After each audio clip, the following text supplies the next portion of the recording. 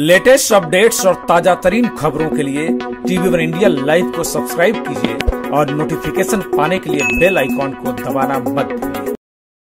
Slum इलाकों में शिक्षा की अलग जगाकर गरीब बच्चों का भविष्य संवारने में जुटे नवी मुंबई के पूर्व महापौर सुधाकर सोनावने ने आज अंबेडकर नगर के रहवासियों के बीच केक काटकर अपना जन्मदिन मनाया।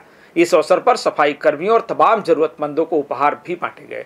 यहाँ सैकड़ों समर्थकों और नागरिकों ने अपने नेता को जन्मदिन की शुभकामनाएं दी और दीर्घायु की कामना की। देखिए रिपोर्ट।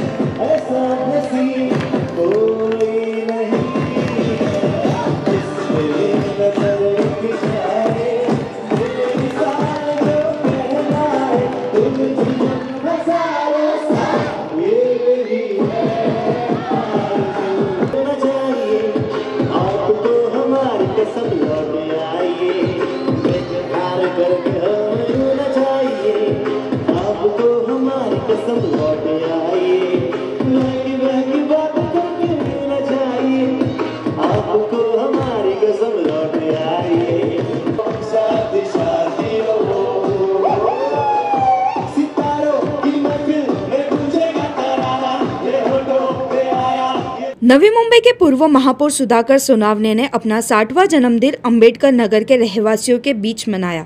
काशीराम हिंदी विद्यालय में आयोजित कार्यक्रम में शिक्षण सेवी सुधाकर सोनावने ने पहले केक काटकर अपने समर्थकों और प्रभाग 19 एवं 20 के नागरिकों से बधाइयाँ स्वीकार की।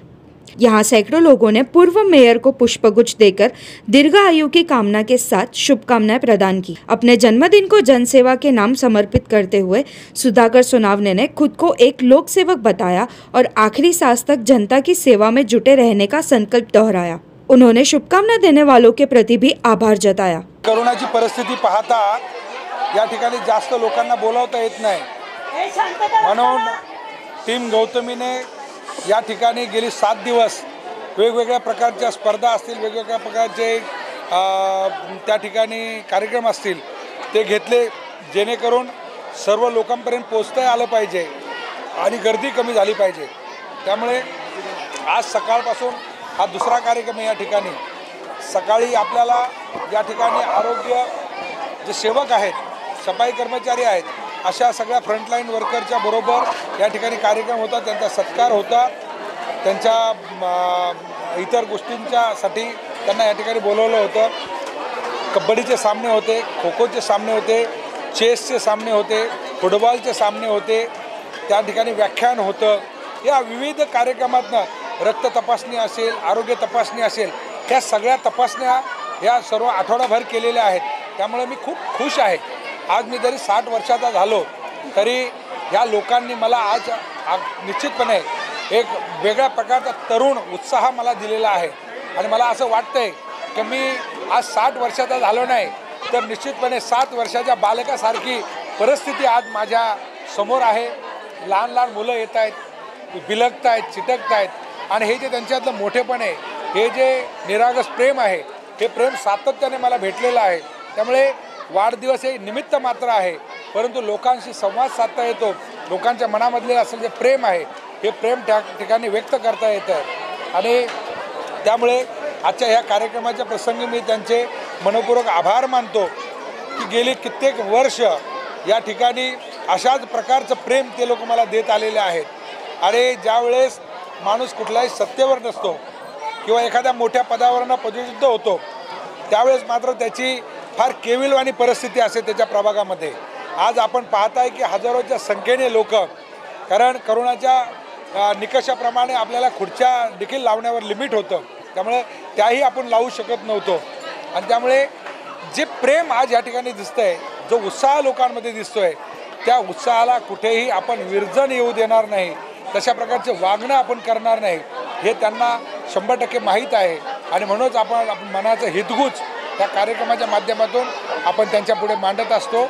आणि आज ते मांडण्याचा मी प्रयत्न केलेला आहे. ही नवीन जनरेशन आहे.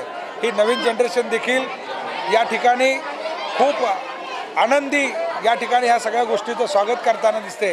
याचं कारण असं आहे का गेली दोन दशकं आपण सातत्याने शैक्षणिक क्रीडा आणि सांस्कृतिक विभागामध्ये जे काम केलेलं आहे जे नाविन्यपूर्ण कामातनं आपल्याला तेवढ्या उंचीपर्यंत त्या मुलांना नेलेलं आहे.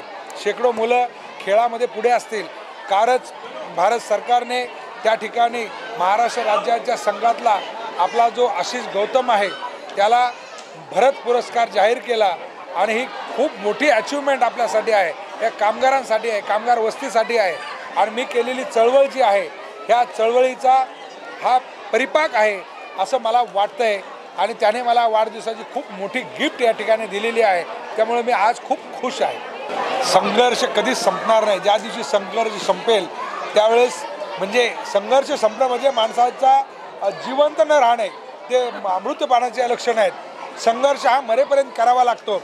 मी चळवळीतनं उभा राहिलेला कार्यकर्ता आहे.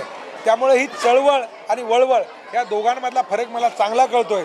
जे वळवळ करणारी लोक आहेत त्यांना चळवळीचा हिसका अजून माहीत नाही आहे आणि त्यामुळे माझ्या कामात आडकाठी टाकणं असेल किंवा वाटेत काटे पेरणे असेल या काट्याने त्यांचे टायर पंक्चर होतील एवढं मी आज फक्त आपल्याला सांगू इच्छितो. हा गर्भित इशारा हा तुम्हालाही कळाला असेल त्यांनाही कळेल. परंतु जे निर्माण केलेलं आहे जे कष्टाने केलेलं आहे त्याला लागलेली फळं आहेत आणि ही फळं म्हणजे गोड गोमटी आहेत ही निश्चितपणे अपायकारक नाही आहेत. या पोषक आहेत त्या शहराला राज्याला आणि देशाला. Bureau report TV one India.